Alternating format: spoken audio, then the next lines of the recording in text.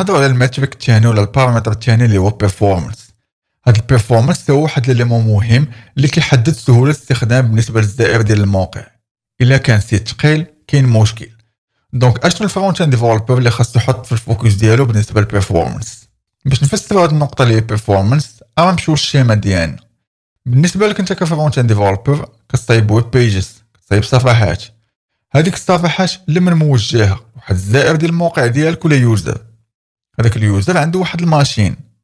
هذيك ال machine فيها واحد ال internet connection فيها واحد الإنترنت. donc كاين واحد ال network speed هنا هذيك ال machine شنو مأنستالي فيها؟ مأنستالي فيها واحد المتصفح. هذيك ال machine فيها واحد ال hardware CPU memory و hard disk وهذاك ال browser راه كيستعمل هاد ال CPU ال memory وال hard disk كيستعمل هاد ال hard ديال هاد ال machine. donc الزائر ديال الموقع ديالك نحطو هاد الشيء في ال focus ديالنا. عنده machine installé فيها browser وهذيك ال machine راه فيها واحد الانترنت.